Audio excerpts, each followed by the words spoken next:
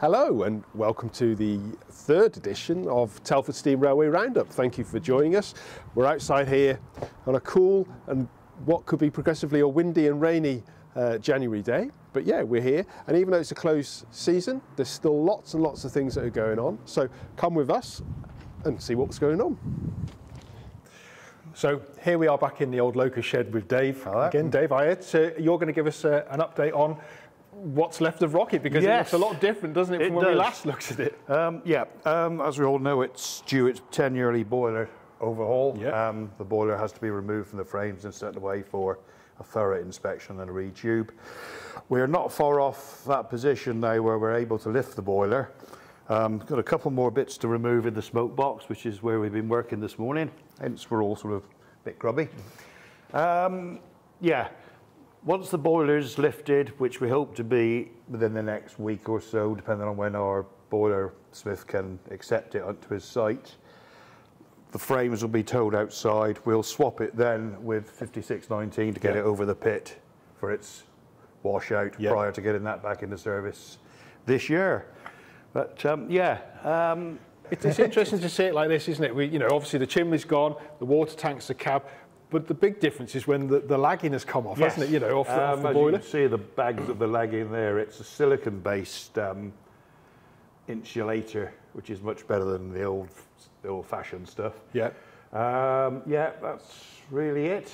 Uh, so what you see now is what we're left with. Yeah. So um, once the boiler's gone, we can concentrate on the frames and the motion and um, give that any necessary servicing and Yeah. repairs that it needs. But you- you've worked, it, it's been a, a, a hard job, hasn't it? Big job, but you've done really, really well. The volunteers, Yes, you know, getting it to this stage, isn't it? A lot of it didn't want to come apart. And Now So there's a surprise, it's, isn't it? It's Yeah. put up a fight at times, but It we've has. got there.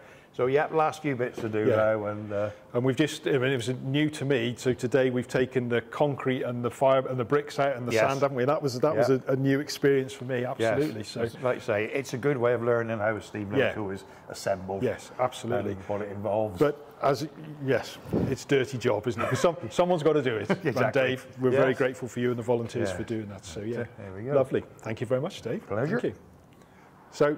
Dave and myself, we've just moved to the side to, to Rocket for the, the big reveal for this episode because, Dave, fantastic news. We've We got have a, a tram boiler. boiler. So Yep. this is, it's come second hand to us, isn't it? But it hasn't been used before. It's basically, yes, it's second hand, but it's never been steamed as, that we're aware of.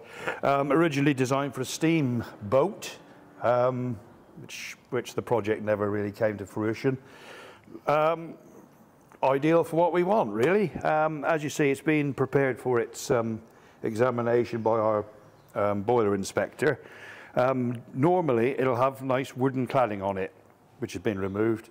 All the metal sheeting you see around here now will come off it, and then we're left with a boiler shell once the cladding underneath is removed. So, yeah, it's basically a new boiler, um, which really is going to be ideal for It the is, tram. isn't it? Couldn't, couldn't be better for, Yeah. for, for our tram, isn't it? So, you know, we're really grateful for all our volunteers, all the GoFundMe uh, people who have donated to help bring this to the railway. We couldn't have done it without your help, so thank you ever so much for that.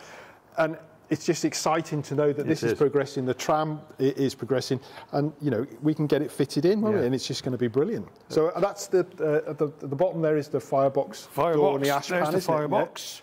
Little tiny thing compared to the 56 Yeah. and uh, rocket. There's the ash pan. Um, you can see the boiler tubes there. Um, yeah, so it, it's good that all the documentation certificates have all come with it, which are now with our boiler inspector.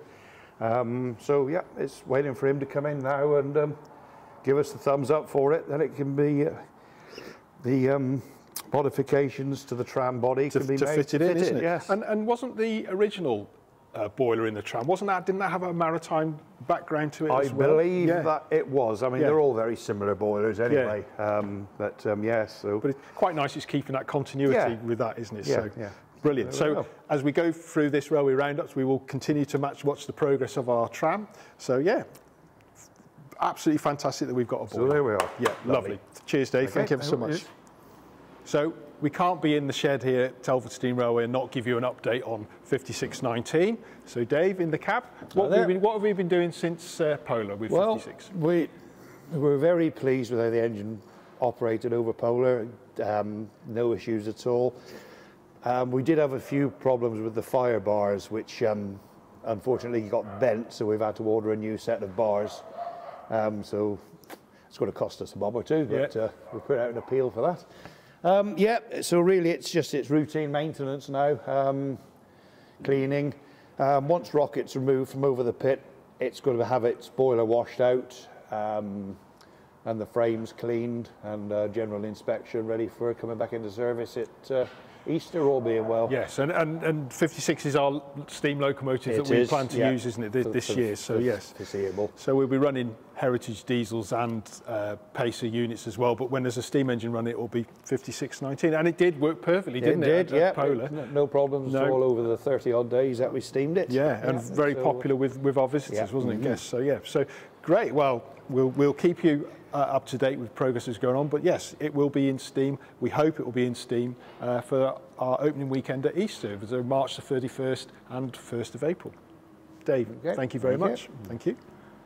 We're back outside, and it's great to be with Andrew in front of his 03. And Andrew, it'd be nice for, for you to give the viewers an update on the work that's been going on since we last spoke. Yeah, since the last time we spoke, it was Polar, wasn't it? It was. So yeah, since then we've done quite a lot of work. Almost every weekend we've been doing a couple of little jobs, tidying everything up.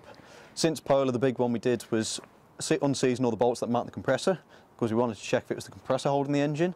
Turns out the compressor's still spinning, so that's both a good and a bad thing, but the engine's still seized. So that's round that side, that was a bit of a pig to get to the bolts, but that's been sorted. Since then it's been dragged outside. We've also done all the doors on the cab, as well as all the body panel doors, because they were all bent and half the locks were all seized. So we've had most of them all off to allow it to secure both the engine bay and the cab. So now the cab's secure, and we've also put a cover over the, the roof, over the main actual roof hatch, because the 03's have got a sliding sunroof. That unfortunately is leaking, and I don't have the time at the moment to take that off and reseal it. So we've just put a temporary plastic cover over it. So that should keep most of the water Yeah. out. At least make my floor last a little bit longer, because that's not in the best condition either. But with all the doors secure in the cab and both the engine bay, it'll keep most of the moisture out and also stop any uh, anyone else getting in there I don't really want in there. No, which is So which it's is improved the it? security. Yeah. Once the weather's warmed up and this wet weather's buggered off, we will hopefully look at stripping the engine because since, while it was sat in the shed particularly, it was absolutely saturated in the bonnet. So it's not really the ideal time to start pulling heads off. So since, well, between now and then, what both my dad, my granddad and me have been doing, we've been going around oiling everything up, trying to free off all the manifolds. I know in the past two weeks or so, granddad's managed to free off all the manifolds on the engine, which I'm surprised by Yeah. because they were again quite crusty. So that should mean then hopefully once the warm weather comes in about Yeah. April March, we can literally crack on, manifolds off, heads Yeah. off, and it should be uh, hopefully get it freed off within about a month, two months. It's going to be quite a big job. So yeah, it will be a big job, but you're doing the preparation, aren't you, for like you say, with, by oiling everything up and things like that. Yeah, because I know in the past when I spoke to your granddad, he was they were oiling all the motion and greasing up to, to help, I suppose, with it moving in and out of the shed, wasn't it? and Honestly, it keeps getting moved about, so that's the thing. We've I know another thing that's reminded me actually. All the axle pots have also been done as well because this Yep. is a bit like Jamo, and I think it's similar to a couple of other shunters. A bit like 56, they've got the oilers, which are like an actual pot Yep. with uh, wicks in it. Yes. That just tops up the oil. They've all been cleaned out because two of them are full of water. But since then, the only other thing we've got to do is have the plugs out of the axle boxes and just have a quick check around the boxes. But Yeah. when we've been moving it, nothing's been squeaking, which I'm amazed by. Well, that's unusual for yeah how long it's been out in the open. yeah, because it's been out in the open. I don't think it's had any oil since we actually came. Well, I say we, the North Norfolk came to move it. But thankfully, looking at photos that the book Alan's done, Yes. there'll be more mention of that later. Um, it's actually been moved about quite a lot the North Norfolk, which I think is what stopped everything seizing up. Yes. Thankfully, so that's a benefit because it's been up from Weybourne to the Holt at the North Norfolk Yeah. and all over the place. Yeah. Because I know Alan's found absolutely loads of photos of it, just all, all up and down the line, which is probably what's actually saved Yes. motion, I've got to say. Yes. So you're talking there about Alan, aren't you? Who's a, a volunteer at the and he's actually produced a book, hasn't he, about Yep. the history of, of your locomotive, which is absolutely fantastic. Isn't it? Yeah, he's done a little, little quick 40 page book, but it's also managed to find a load of photos from when it was at BR, at Dagenham, and also some while it's been at the North North, and he's basically collated all these photos into a nice book, which he's hoping to expand on as we progress the restoration as well. So he's done a limited run on that, but I think we'll put a link in the description uh, for that if anybody wants to contact him to, to purchase the book. But uh, yeah, it's great, isn't it? So fantastic. Well done for you and your dad and, and your granddad for all the hard work that you're putting into this. And it's fantastic to see it progressing so well. So Hopefully it won't be long till it's running. oh, it'll be fantastic, won't it? So brilliant. Thank you, Andrew. Excellent stuff. So last uh, Thursday, I think it was, uh, with the 09 uh, returned to the Severn Valley Railway after being here on hire um, for our Polar Express. So our thanks to our friends at Severn Valley for the, the loan of that engine. But when the 09 left, the TT, this TTA wagon arrived. So this is our latest wagon that we've got on uh, the railway. Uh, looks fine, doesn't it? It's in, in really good condition. Uh, and what we'll use this for is not only will it be used uh, in our demonstration freights, but will be used as a water tank uh, at Polar, uh, so we can re, uh, refill the steam locomotive with water in between journeys. So it'll be a really useful acquisition to the railway. Um, it looks lovely, but unfortunately, it wasn't full of aviation fuel, so it's empty in there. But yes, so it's just come. Uh, we're just working, checking over, giving it a fitness to run, tests to make sure it's okay to use. But we're really excited by having it, um, and yeah, see it in later updates. Right, so it's about time we gave you an update on the progress of our BSO.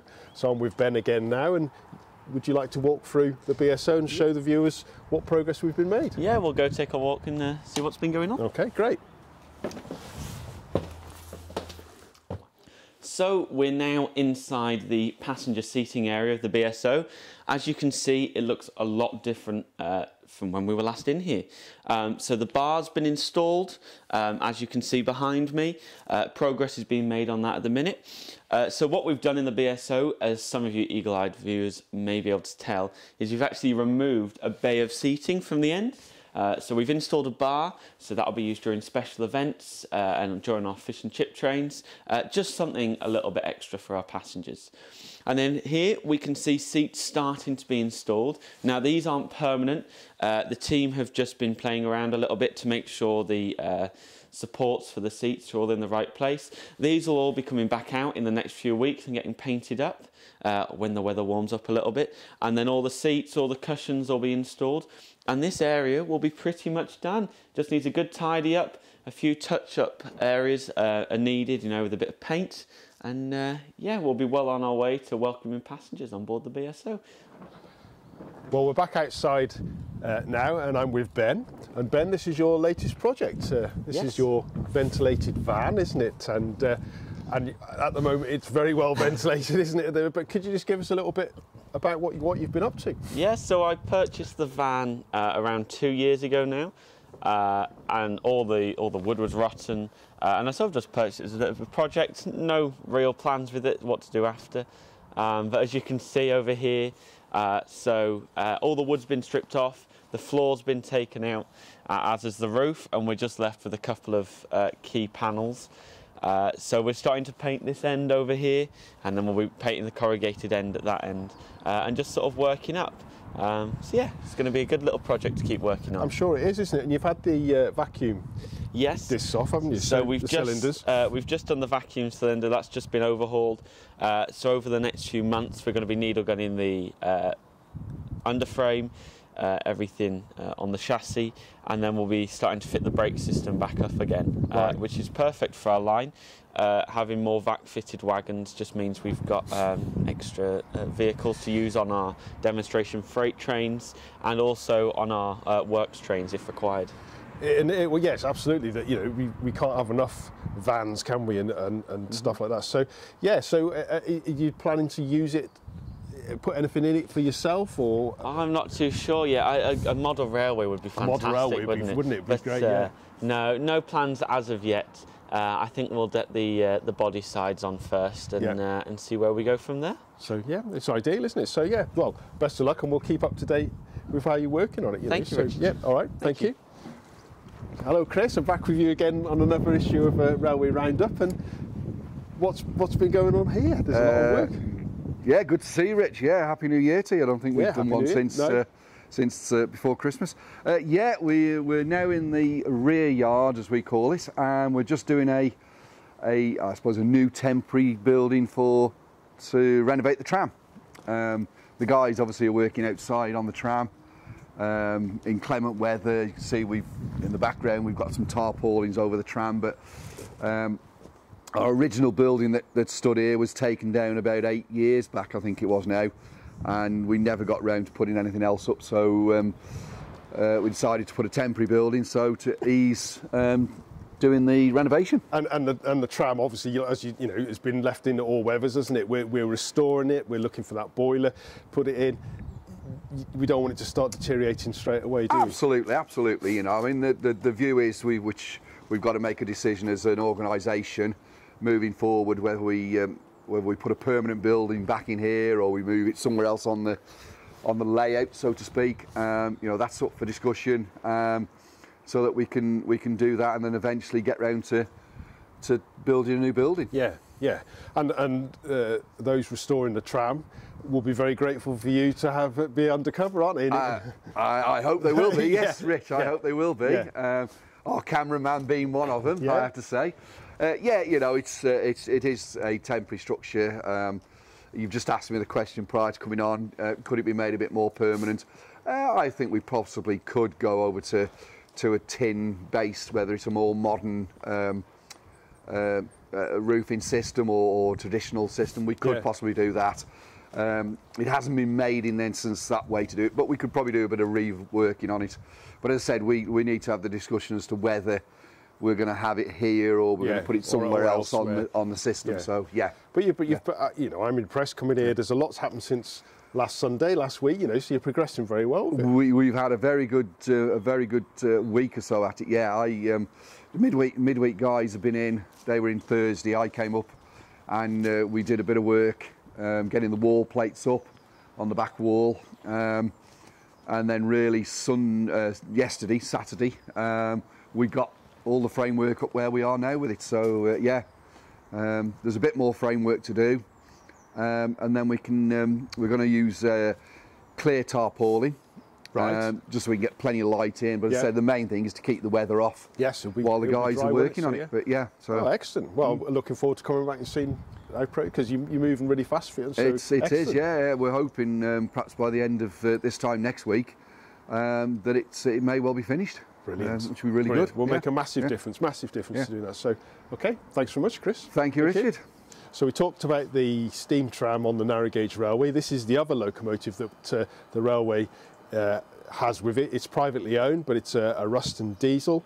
It's had uh, quite a history. Uh, it's been up in Scotland, I think, at the Scapa Flow uh, Museum. It came from there, uh, but the present owner has had it at the railway for a few years and has been restoring it. Uh, its restoration is uh, nearly complete. We hope uh, that it will be ready this year. And yes, we're looking forward to having this running on our narrow gauge railway as well. We will run it in addition to the steam tram, uh, and it will be really useful. A bit of variation, and when we're having our diesel galas and that, it'll be an extra attraction for people to come and see. So, very grateful for the current owner to allow us to come into the restoration tent and just show you what it is, uh, because I think it's been here for quite a while, but it's been hidden. So, this is it. This is the new Ruston diesel that we've got. Dave and myself are now in the yard at uh, Spring Village, and unfortunately, Dave, we've had a bit of bad news Yes. regarding the pacer, haven't we? We've What's- had some unwelcome visitors, um, smashed a door, gain entry to the unit, um, broken one of the cab door windows, uh, slashed seats, set off fire extinguishers. I suppose, in a way, it's lucky there was nothing worse than that. Um, but I say, unfortunately, annoying all the time.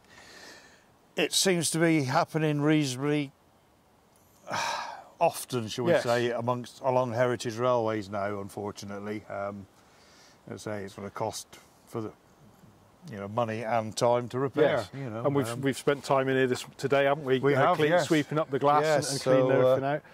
Um, yeah, and we've had windows shot out previously, haven't we, with Yep. air rifles, and we we've got fencing and we've got do our best with precautions, but it, it's very difficult to keep people out who yes, are intent on getting in. Yes, but um, you know, when we first got the news, we didn't know what to expect, but it's not as bad as we could have had. So Yeah, yeah. let's look on the bright side. Yes. So uh, But I suppose it'll be out of action now for for a while, won't it? it is. Until- Well, this one was due for some repairs anyway. Um, we'll be using our 142 unit um, in uh, during the season. Um, say until this one's fixed and been uh, serviced and back in use. yeah, shall we back say. in use. And we have got a pacer day lined up on uh, June the 9th. Mm-hmm. So fingers crossed. Uh, it'd be in there. But again, like you say, it takes money away from other projects that we had, yeah, and it takes and time manpower, and yeah. manpower, isn't it? Yeah, we've got lots. It's not as if we have, we're twiddling our thumbs here. So yeah, it's unfortunate, but uh, as Yes, I say, we'll keep you up to date with the progress. Okay, so I'm stood next to Sentinel, Sentinel number 11, Sentinel steam engine, and it's been shunted uh, around the yard today, and it's in what's called our departure lounge because by the time you see this video, the Sentinel will have left Telford Steam Railway and gone on hire to our friends at Chasewater. So I think it's going next week at some stage. Uh, yep, hopefully it'll be used uh, and they'll get a lot of enjoyment out of it. So nice engine, and we're saying goodbye to the Sentinel from Telford. Right, well, we've come in outside uh, from the wind for a bit, and we're in the Mark II, one of our Mark II coaches, and I'm with Marion here. Hiya, Marion. Hello. And your job at the moment, isn't it, is Is clean cleaning up of the debris from the Polar from Express. the Polar Express, isn't it? And, the, and the cleaning, you've got yourself a good cleaning gang in Yes, here. yeah. Yes, Lots we've still got we've still got the decorations. Yep. So what does what does the, the, the sort of clear up Right. after Polar entail in Right. the coaches? All the seats we lift, clean underneath them, all the crumbs from the cookies, um, sometimes coffee stains, chocolate stains, and we have to clean all that down as well. Hoover the floor, sweep the floor, depending on. This one is all vinyl. Some of them are half and half, which makes Mm-hmm. it even more interesting to try and get them clean. Um, we've moved all the decorations into coach one, which we won't be using this season. This one is one that's going to be used as a running stock, and we've got another one that will be used as well. The garlands are staying up until Easter. Um, when we're doing, or just after Easter, when we've got an event on, and they've been asked to be left in Right. situ, so that's why they're still up. Um, and other than that, it's and cleaning the windows, and at some point, hopefully getting the outsides cleaned as well. But that's not my domain. No, no. And it's a totally unglamorous job, is, Marion, isn't it? But it's vital, It's isn't vital, it? yeah, And it's yes. absolutely important. So Yeah.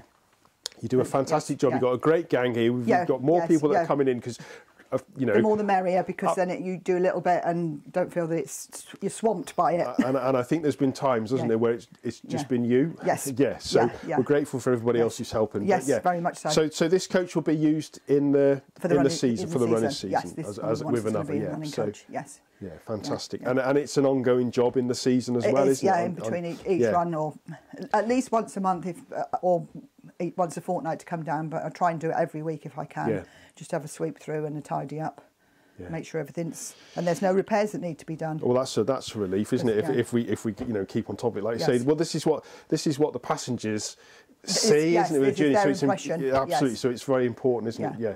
And anything unusual been left behind this year Uh, well, shoes yesterday, one pair and one pair odd of one. shoes, Yeah, yeah. a pair of trainers and an odd shoe. Isn't that weird? Isn't that weird that Not quite somebody's sure left? how they got left. Someone's left with one yeah, shoe. Yes, yeah. it is. Pens, pens and pencils is quite a normal thing, Yeah. but um, Cookies. hats, hats and things. Yeah. yeah. Oh, yeah. Crumbs, of, big chunks of cookies that are like thrown under the seats, and yeah. but, uh, well, But yeah, yeah, random things. yeah, but can't thank you enough for, for No what you're doing. It's a fantastic job. So lovely. Thank you.